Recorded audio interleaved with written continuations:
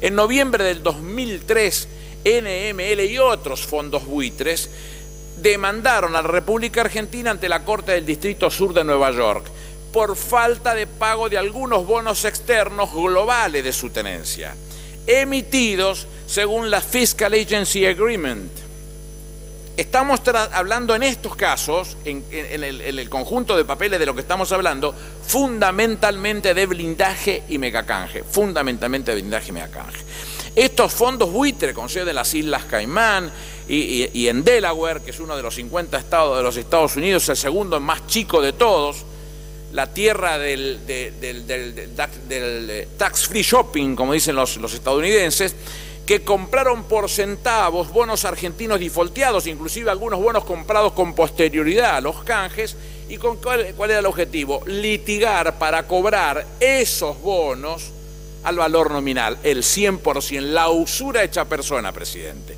Estos bonos liderados por Elliot lo intentaron ante tribunales belgas con la deuda del Perú, con la deuda de la República del Congo y con la de Nicaragua. En el caso de Perú y la República del Congo, les obligaron a pagar cifras siderales. No sucede lo mismo con el caso de Nicaragua que consigue una sentencia favorable y que lo beneficia en el pago final de lo que significaba esos, esos este, papeles en condiciones de, defaulteados y que eh, venían por su usura y por el apriete para conseguir algún tipo de ventaja.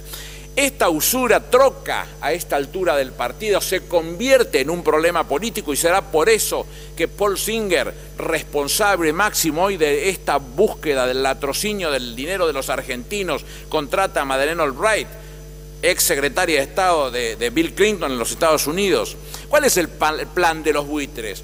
Atacar nuestra moneda, atacar el gobierno y encabeza el gobierno a todos los argentinos, bloquear los pagos, bloquear el, acceso al crédito internacional y esperar que venga un nuevo gobierno, estamos a un año y medio de, que eso suceda, que les convalide la usura, que le diga que sea la usura. Tienen a varios candidatos que ya los tienen enganchados, presidente. Algunos de ellos lo muestran desembosadamente y ya lo voy a explicar con algunos de los proyectos que hemos analizado puntualmente en este tema.